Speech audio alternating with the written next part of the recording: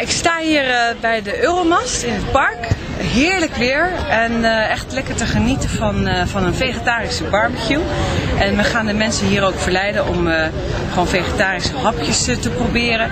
Want wat heel veel mensen niet weten is dat als we zoveel vlees blijven eten, dan kan de aarde dat echt niet aan. En één dag in de week geen vlees eten heeft al enorm veel effect. Want het betekent eigenlijk hetzelfde als dat je 1 miljoen auto's van de Nederlandse weg afhaalt. Als iedere Nederlander dat zou doen, één dag in de week. Dus uh, dat gaan we hier duidelijk maken. Want de Partij voor de Dieren die wil graag opkomen voor dieren, natuur, milieu en natuurlijk voor de mens. Want een goede partij voor de dieren is automatisch een goede partij voor mensen. Dus op 9 juni kun je juist, met je hart stemmen. In plaats van op de single issue partijen die alleen maar over korte termijn mensenbelangen hebben.